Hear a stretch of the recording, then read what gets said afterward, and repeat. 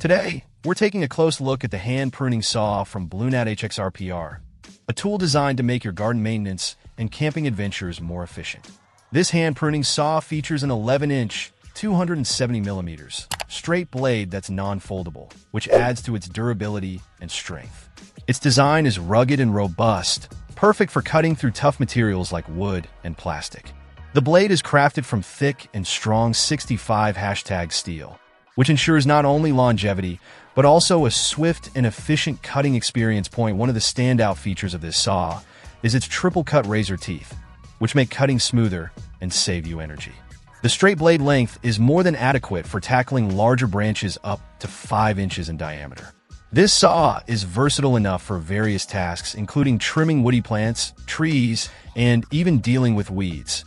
Its surface recommendation includes plastic and wood, making it a multi-purpose tool that's great for both garden trimming and outdoor survival needs. The saw's design helps achieve clean cuts, resulting in a neater appearance and reducing the effort needed for each cut.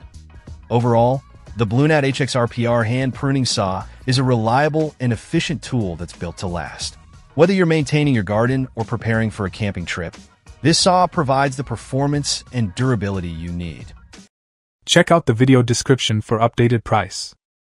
And thank you for watching this video.